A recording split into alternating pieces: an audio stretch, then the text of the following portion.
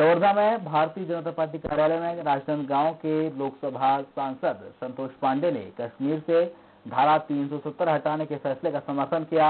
उन्होंने कहा है कि 70 साल से कश्मीर एक मुद्दा बना हुआ था। इस फैसले पर भाजपा के साथ कई विपक्षी दल भी समर्थन में नज़र आए।